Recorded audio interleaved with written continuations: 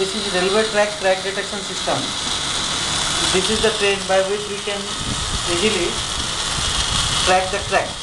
If the crack is detected at a particular moment, this RF section sends the signal to this receiver section and receiver section now gives the peep sound and we can see over here what will be the crack size from this camera and this is this is project by which we can create. We can see what will be the crack position throughout the world and we can detect the position of the crack.